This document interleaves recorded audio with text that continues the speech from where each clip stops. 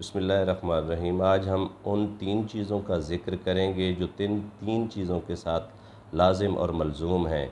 इमाम रज़ा अलैहिस्सलाम आप इरशाद फरमाते हैं कि अल्लाह तबारक व ताली को एक मानना और वालदेन की खिदमत करना, ये आपस में लाजम व मलजूम है। जो शख्स अल्लाह तबारक व ताली को एक मानता है, उसकी इबादत करता है, उसकी रियाजत करता है, उसके तमाम अहकाम को पूरा करता है, अगर उस कि हाँ वालदेन के इज़्ज़त, उनकी तकरीम और उनकी तज़ीम के बारे में अगर वो उस नरम पहलू रखता हुआ, यानी वालदेन के साथ अच्छा सलूक नहीं करता, अल्लाह तबारक व ताली के अहकाम बजा लाता है तो उसे नमाज़ पढ़ने का, रोज़ा रखने का फ़ायदा उस वक्त तक नहीं होगा जब तक वो वालदेन की खिदमत नहीं करता।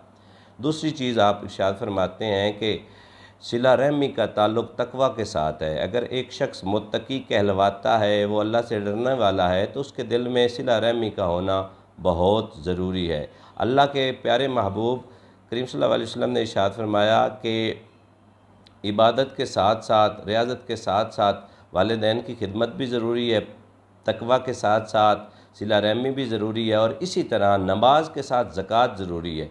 जो शख्स नमाज़ पढ़ता है लेकिन ज़क़़त नहीं देता, उसकी ना नमाज़ उसे फ़ायदा देगी। अगर वो ज़क़़त देता है, नमाज़ नहीं पढ़ता तो उसे चाहिए कि वो ज़क़़त के साथ साथ नमाज़ की भी अदायगी करे। इसी तरह ये तीन चीज़ें आपस में लाजम मलजूम हैं।